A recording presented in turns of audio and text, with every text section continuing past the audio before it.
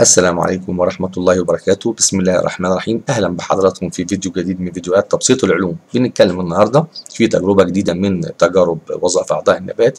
بنتكلم على تأثير المواد المخدرة أو السامة على نفاذية الغشاء البلازمي. اشمعنى الغشاء البلازمي؟ لأن هو أهم غشاء في الخلية لأن هو اللي بيتحكم في خروج ودخول المواد من وإلى الخلية وفقا لاحتياجاتها وكذا وكذا وكذا. في أمور كثيرة يعني. طبعا تركيب الغشاء البلازمي المفروض إحنا كلنا عارفينه. خلاص شفناه في المحاضرة.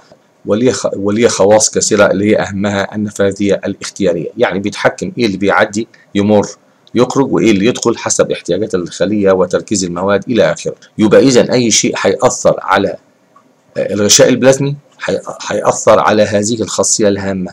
وبالتالي لن يكون هناك تحكم في مرور المواد من وإلى الخلية.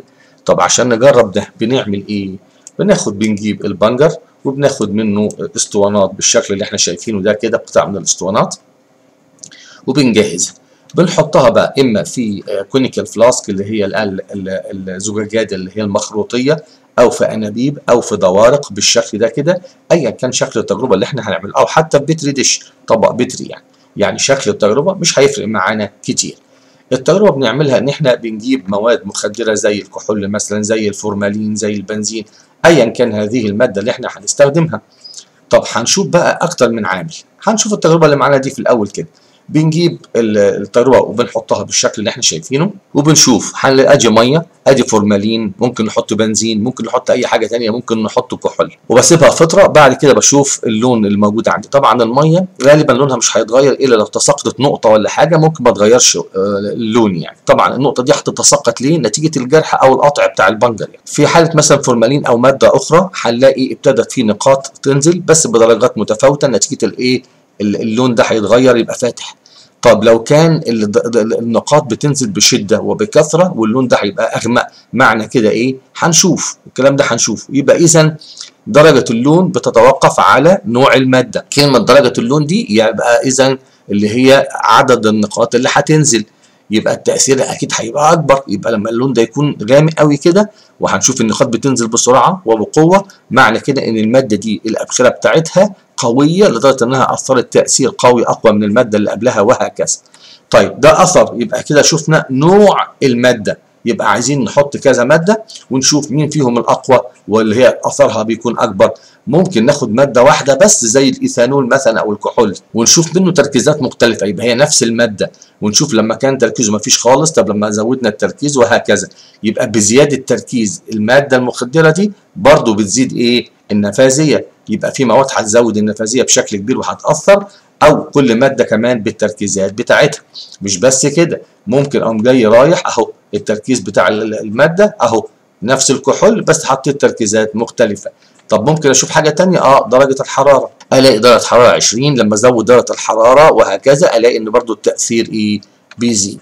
يبقى إذا إحنا شفنا يبقى في عندنا كام عامل نوع مادة المادة المخدرة زي الكحول فورمالين بنزين تأثير الماده التركيز بتاع المادة المخدرة. نمره ثلاثة تركيز الوقت. لو أنا سبتها وقت أطول وتركيز درجة الحرارة. طب تعالى نشوف إزاي بنعلق على تجربة زي كده. بنشوف مع بعض. المشاهدة بتاعتنا حسب التجربة. إحنا شفنا أربع تجارب درجة الحرارة والوقت والتركيز ونوع المادة. فبنقول كل اللي هنشوفه تساقط نقاط أو آه نقاط طبعا المفروض الكلمة نقاط حمراء. من اسطوانة البنجر بدرجات متفاوتة. يعني هقول مثلا الانبوبه واحد كانت النقاط بطيئة. هنا أسرع هنا أكثر. يبقى كلمة درجات متفاوته دي لازم تتكتب. يبقى كده المشاهدة هتكتب المشاهدة. الأنبوبة الأولانية مثلا فيها المية عدم وجود تساقط من ال ال ال نقاط البنجر. في الأنبوبة رقم واحد. خلاص؟ دي المشاهدة الأولى. المشاهدة الثانية إن في المادة الفلانية كان في تساقط. المادة الثانية كان في تساقط بس بدرجة أعلى. يعني ده اللي هيتكتب كلمة درجات متفاوتة لازم تتفسر في الكتابة. لو في اختبار وفي رسم زي كده يبقى لازم هتتكتب يعني كلمة درجات متفاوتة مش هكتبها كده. لا هقول إن الأنبوبة رقم واحد كان موجود مية ما كانش فيه ما كانش فيها نقاط. المادة الثانية كان فيها نقاط أقل إلى آخره. طب الاستنتاج؟ معنى كده هي المادة الحمراء دي جت منين؟ أو النقاط دي جاية من الخلية جوه بتاعة الإيه؟ خلية البنجر يبقى الاستنتاج بتاعنا بستنتج إن وجود لون أحمر يبقى خروج سائل للخلية وبه الصبغه الحمراء من خلال الغشاء البلازمي. تمام. ممكن أشوف النقاط دي أو ممكن أعلق على اللون أقول والله لون المية فضل لم يتغير. لون الكحول اللي هو مثلا التركيز الضعيف كان التغيير ضعيف بزيادة التركيز زاد اللون درجة اللون وهكذا. طيب يبقى خروج سائل الخلية وبه الصبغة الحمراء من خلال غشاء بلازمي. ده شيء منطقي. ما هو الصبغة دي جاية من البنجر. كون إنها كده يكون إنها موجودة عندي في الكحول أو في كده يبقى معناها إنها خرجت. طب أفسر ده إزاي بقى؟ نشوف طب أقول إن الأبخرة المتصاعدة من المواد المخدرة أو السامه لأن في أبخرة غازات بتطلع اخترقت الغشاء البلازمي وأثرت عليه سلبا طب عرفت منين إنها سلبا ما هي هي هو المفترض هو وظيفته يحكم اللي جوه الخلية ما يطلعهوش كون إن أثرت عليه خلته يسيب الحاجة أنتوا عارفين زي إيه؟ مواد مخدرة دي زي اللي مثلا لا قدر الله بعد الشر عنكم ربنا يحفظكم حد خد مادة مخدرة إيه اللي بيحصل؟ ما بيتحكمش في نفسه خالص صح؟ يبقى out of control آه يعني حتى الشخص نفسه اللي هو الإنسان لو أعطيته مادة مخدرة out of يتطوح يروح يمين يروح شمال وعشان كده تلاقي حتى الاختبارات السائقين لما بيجي على الطريق ويبقى فيه لجان يقول له امشي على خط مستقيم اللي هو اهدنا الصراط المستقيم. اهدنا الصراط المستقيم لما واحد بياخد مادة مخدرة أو كذا ما يقدرش يمشي على الصراط المستقيم. حتى فعلا يعني مش بس معنى لا حتى الاختبار بتاع القيادة كده المهم نرجع للتجربة بتاعتنا. يبقى اثرت عليه سلبا ليه؟ لأنه فقد الخاصية بتاعته في التحكم بمكونات الخلية وده أدى إلى السماح بخروج سوائل الخلية وما بها من اصباغ يبقى فقد القدرة بتاعته. يبقى كده مجرد وجود اللون يعني وجود اللون التفسير بتاع رقم واحد نقطة رقم واحد دي بتفسر وجود اللون.